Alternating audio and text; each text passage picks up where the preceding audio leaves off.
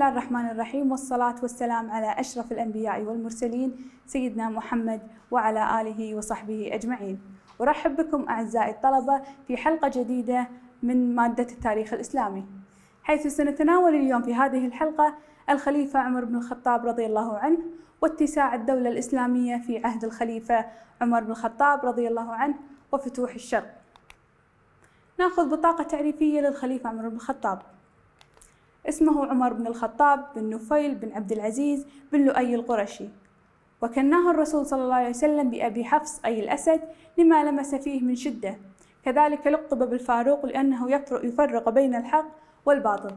الخليفة عمر بن الخطاب. مدة خلافته من السنة الثالثة عشر هجري وحتى الثالثة والعشرون هجري. ولد بمكة قبل حرب الفجار بنحو أربع سنوات. ينتمي لأحد بطون قريش المشهورة بالشرف والمجد يجتمع نسبه مع الرسول صلى الله عليه وسلم في الجد السابع وأسلم في السنة السادسة من النبوة.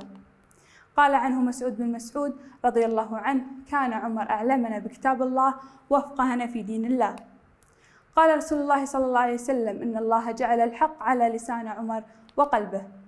كان إسلامه فتحا وهجرته نصرا وإمارته رحمة قال رسول الله صلى الله عليه وسلم والذي نفسي بيده ما لقيك الشيطان قط سالكا فجا إلا سلك فجا غير فجك. توليه الخلافة. عندما اشتد المرض على الخليفة أبو بكر الصديق رضي الله عنه وأحس بدنو وفاته خشي من تفريق المسلمين مرة أخرى. وهنا وقع الاختيار على عمر بن الخطاب حيث رأى فيه الرجل الشديد في غير عنف واللين في غير ضعف. بسم الله الرحمن الرحيم. هذا عهد من أبو بكر بن قحافة في آخر عهده بالدنيا وخارجا منها وعند أول عهده بالآخرة داخلا فيها حيث يؤمن الكافر ويوقن الفاجر ويصدق الكاذب. إني أستخلف عليكم بعدي عمر بن الخطاب فاسمعوا له وأطيعوا. فإن عدل فذلك ظني فيه ظني به وعلمي فيه. وأن, وأن بدل فلكل امرئ بما اكتسب والخير أردت ولا أعلم الغيب. وسيعلم الذين ظلموا أي منقلب ينقلبون. ما الأمر الذي تخوف منه أبو بكر الصديق بعد وفاته؟ خشي من تفريق المسلمين مرة أخرى. وما الصفات التي استند عليها أبو بكر الصديق رضي الله عنه في اختيار الخليفة عمر؟ الرجل الشديد من غير عنف واللين من غير ضعف. اتساع الدولة الإسلامية في عهد الخليفة عمر بن الخطاب رضي الله عنه. ونأتي هنا إلى فتوح الشرق. كتب المثنى بن حارثة للخليفة عمر رضي الله عنه بالاضطرابات التي حلت ببلاد فارس بعد جلوس يزدجرد على العرش مع حداثة سنة ونواياه بالهجوم على بلاد العرب. أراد عمر قيادة الجيش بنفسه ولكن أشار عليه أهل الرأي أن يبعث أحد الصحابة ويكون وراءه ويمده بالإمداد اللازم. صعد المنبر وخطب قائلا أيها الناس إني كنت عازما على الخروج معكم وأن ذوي اللب والرأي منكم قد صرفوني عن هذا الرأي. وأشاروا بأن أقيم وأبعث, وأبعث رجلا من الصحابة يتولى أمر الحرب. ما الدلالة التاريخية من خطبة عمر بن الخطاب؟ الشورى. ونأتي إلى موقعة القادسية في السنة الخامسة عشر هجري.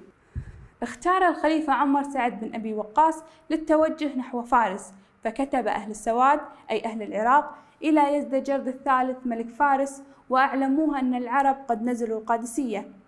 جمع يزدجرد الفارسي طاقاته ضد المسلمين فأرسل قائده رستم ليقود حملة الفرس ضد العرب. سار رستم وفي مقدمته الجالينوس في, أربع في أربعين ألفا وخرج هو في ستين ألفا وفي ساقه ساقته عشرون ألفا. وهكذا تجمع لرستم ما يقارب مئة وعشرون ألفا. بعث سعد آه، بوفد من الدعاء إلى يزدجر يدعونه قائلين اختر إن شئت الجزية على يد وأنت صاغر وإن شئت فالسيف أو تسلم فتنجي نفسك. فرفض إلا الحرب. لما وصل رستم التحم الجيشان في ثلاثة أيام ففي اليوم الأول يوم أرماث قبل بداية المعركة أمر سعد الناس بقراءة سورة الجهاد وهي سورة الأنفال. ثم كبر ثلاثة مرات وبدأ القتال ومن هدي ومن هدي القرآن وبإغراءات الأنفال تحركت السيوف المحمدية تقارع الفرس. وفي اليوم الثاني يوم أغواث جاء المدد من الشام بجيوش في مقدمتها هاشم بن عتبة بن أبي وقاص والقعقاع بن عمرو التميمي. فتغيرت دفة المعركة للمسلمين وجعلت خيل الفرس تفر من جمال المسلمين وأبلهم. أما اليوم الثالث يوم عماس فأصبح الفريقان وهم على مواقفهما ومن قتل المسلمون ألفان ومن الفرس عشرة آلاف. ولما جاءت ليلة الهرير قتل أحد المسلمين والمسمى هلال بن علفة القائد الفارسي رستم. أصاب المسلمون من الفرس في اليوم الثالث فقط عشرة آلاف سوى من قتلوا في الأيام, في الأيام السابقة. ولما طاردوهم برماحهم غرق منهم ثلاثون ألفا. وجمعت الأسلاب والأموال فجمع منها شيئا لم يجمع قبله ولا, بعد ولا بعده مثله. كان سعد بن أبي وقاص قد أصابها عرق النساء ودمامل في جسده فهو لا يستطيع الركوب وإنما متكئ في القصر على صدره ينظر للجيش ويدبر الأمور. أقام سعد بن أبي وقاص بالقادسية بعد الغزو شهرين وكاتب عمر فيما يفعل. كتب إليه عمر يأمره بالمسير إلى المدائن عاصمة الفرس. فبدأ المسلمون بغزو المدائن الغربية بهرسير في السنة السادسة عشر هجريا وأرسل الخيور فأغارت على من أبى الأذعان للإسلام. أقاموا على بهرسير شهرين يرمونهم بالمجانيق كما هو موضح أمامكم في الصورة ويدبون إليهم بالدبابات ويقاتلونهم بكل عدة. نصبوا عليها عشرين منجنيقا فشغلوهم بها واشتد الحصار بأهل المدائن الغربية حتى قل الطعام وصبروا من شدة الحصار على أمر عظيم. انتهى الأمر بهروبهم من المدينة ودخل المسلمون بهرسير فجمع سعد جنوده وأخبرهم بعزمه على عبور دجلة إلى الفرس وفتح عاصمتهم المدائن. قسم سعد جيشه إلى عدة كتائب ثم غزا المدائن الشرقية. إيوان كسرى. فلما رآهم الفرس اقتحموا عليهم دجلة هربوا نحو الشمال. دخل سعد القصر الأبيض بالمدائن وهو يقرأ قوله تعالى كم تركوا من جنات وعيون وزروع ومقام كريم ونعمة كانوا فيها فاكهين. ثم صلى فيها صلاة الفتح ثمانية ركعات لا يفصل بينهن كما صلى من قبل في قصر كسرى الآخر في بهرسين فلم يكن سقوط المدائن إلا مباركة من الله سبحانه وتعالى على جنوده فيما أخلصوا بالنية الحسنة. وكان سراق بن مالك ضمن الجيش وأعطى سواري كسرى كما قال له الرسول صلى الله عليه وسلم في الهجرة.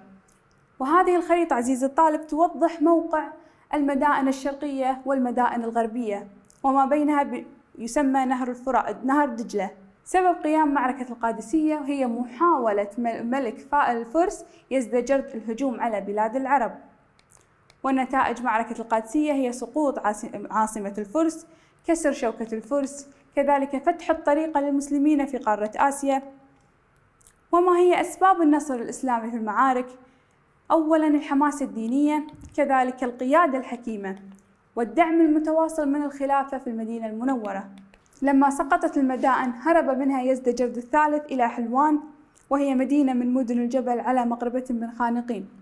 وقعت غزو حلوان جلولاء في السنة السادسة عشر هجري وأمر على الجيش مهران وأقاموا في حلوان وحفروا خندقا حولها واستعدوا لملاقاة المسلمين.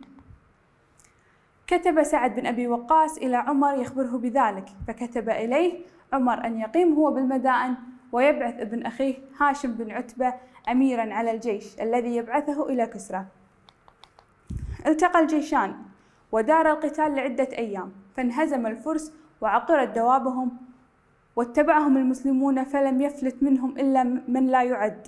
وقتل يومئذ منهم مائة ألف فجللت القتل المكان فسميت جلولاء جلولاء بما جللت من قتلاهم. سار القعقاع بن عمرو وقسمت الغنيمة وأصاب كل واحد من الفوارس تسعة آلاف وتسعة من الدواب. وقيل أن القيمة كانت ثلاثون ألف ألف أي ثلاثين ثلاثون مليون. وكانت الخمس إلى عمر ستة آلاف ألف أي ستة مليون. كتب الخليفة عمر بن الخطاب رضي الله عنه لسعد بن أبي وقاص يأمره بفتح بلاد الجزيرة شمال الموصل وتولى القيادة عياض بن غنم حيث أتم فتحها عام السابعة عشر للهجرة. نأتي, نأتي هنا إلى معركة نهاوند في الواحد وعشرين للهجرة. عرفت بفتح الفتوح لأنها قضت على آخر الجيوش الفارسية وأنهت الدولة الساسانية. رغم أن يزدجرد الثالث آخر ملوك ساسان قد فر إلى الشمال وظل يتنقل من بلد إلى آخر حتى قتل. لم يستغرق فتح العراق سوى سبعة سنوات. بدءا بمعركة كاظمة سنة الثانية عشر للهجرة وانتهت بموقعة نهاوند في الواحد وعشرين من الهجرة. وهذه الخريطة توضح عزيزي الطالب موقع نهاوند في بلاد فارس. كان فتح العراق من أعسر الفتوح الإسلامية نظرا لصعوبة الأرض ومجاري المياه. ونأتي هنا إلى مقارنة بين المعارك التالية القادسية وفتح المدائن ومعركة جلولاء ونهاوند القادسية تمت في العام 15 للهجري الأطراف كانوا المسلمون ضد الفرس القادة سعد بن أبي وقاص ضد رستم الفارسي. النتائج انتصار المسلمين. فتح المدائن كان في عام السادس عشر للهجرة الأطراف المسلمون ضد الفرس القادة سعد بن أبي وقاص النتائج فتح المدائن الشرقية والغربية. نأتي الآن إلى معركة جلولاء وقعت في السنة السادسة عشر للهجري. الأطراف كانوا المسلمون ضد الفرس القادة كانوا هاشم بن عتبة ضد مهران النتائج انتصار المسلمين. معركة نهاوند وقعت في العام الواحد وعشرين للهجرة الأطراف كانوا المسلمون ضد الفرس القادة النعمان بن المقرن النتائج انتصار المسلمين. انتشر الإسلام في أرض فارس وأصبحت ولاية تابعة للخلافة الإسلامية. وظهر فيها العديد من العلماء والفقهاء والأدباء وأثرت الحضارة الإسلامية. إلى هنا نصل إلى ختام حلقتنا. شكرا لمتابعتكم.